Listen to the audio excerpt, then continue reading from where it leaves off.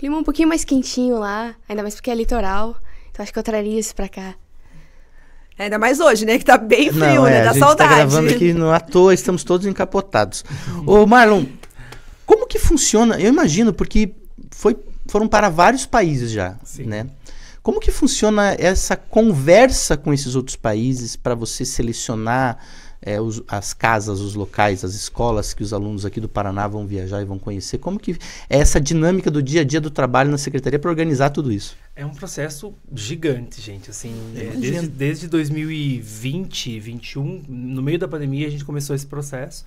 É, então, nós temos vários parceiros né, que têm um know-how específico. Né? Então, nós começamos essa articulação com consulados e embaixadas, que é muito importante essa relação com Sim. os países. Né? A escolha dos países é sempre feita com, com o nosso diretor de educação, com o nosso secretário. Né? O, o governador participa muito né, de quais são os países, para onde eles vão. Né? Tem toda uma de escolha.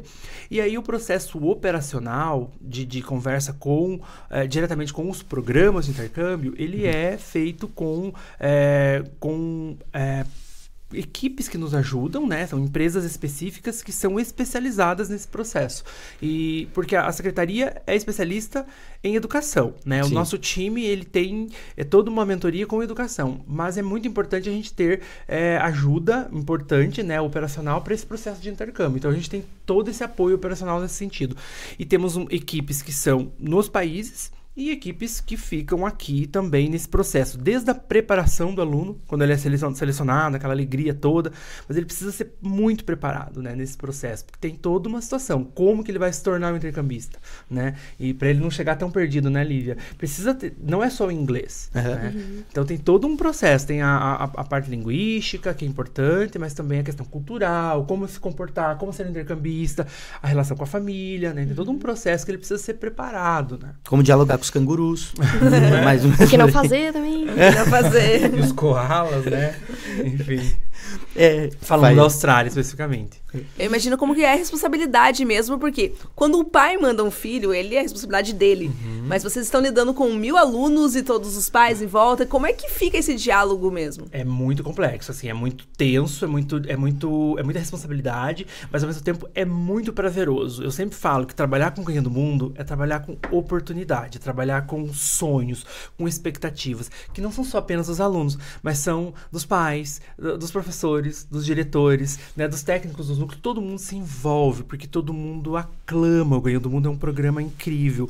Não tem como você não achar espetacular essa oportunidade que o governo do estado dá para mil jovens vivenciar uma nova cultura, uma nova experiência. Então, o processo ele começa assim, a partir do momento do- da seleção, tem toda uma documentação que tem que ser assinada, todo um processo burocrático que os, os pais precisam documentar e tudo mais.